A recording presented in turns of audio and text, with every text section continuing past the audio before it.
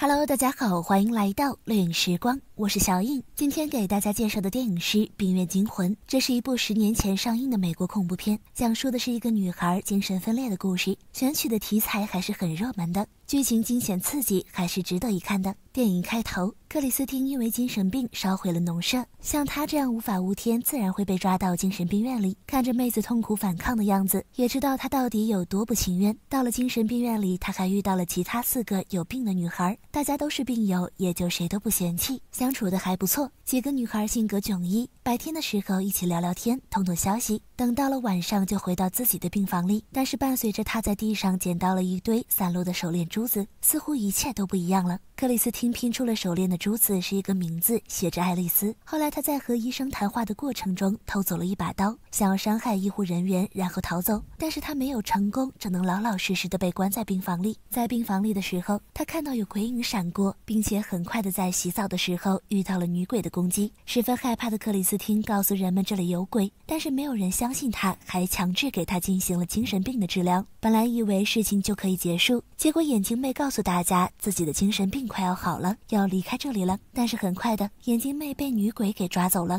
为了寻找眼镜妹，大家一起来到了地下室，但是他们却纷纷遭遇了女鬼。克里斯汀的运气很好，他只是被吓晕了，但是其他的同伴就没有那么好运了，倒霉的就被抓走杀死。克里斯汀醒来后觉得很不对劲，询问剩下的两个女孩，女孩们无奈下只能承认说，这个女鬼其实就是爱丽丝，是之前在精神病院里的一个女孩。因为这个女孩之前总是欺负他们，所以他们四个便合伙把她杀死了。于是爱丽丝便化身成了厉鬼，现在是要报复他们。女孩们想要反抗，却被女鬼一一杀死。最后只剩下克里斯汀。克里斯汀在逃亡的过程中发现了一个房间，房间里正好有她的病历档案。这时她才惊觉地发现，原来爱丽丝患有精神分裂，而在精神病院里看到的四个女孩，包括自己，都是爱丽丝分裂出来的人格。可是这时候女鬼也出现了，抓住了克里斯汀，两个人从窗户上跌了下去。就这样，爱丽丝的主人格也终于打败了其他人格，苏醒了过来。但是电影的最后，当爱丽丝看着镜子的时候，克里斯汀又出现了，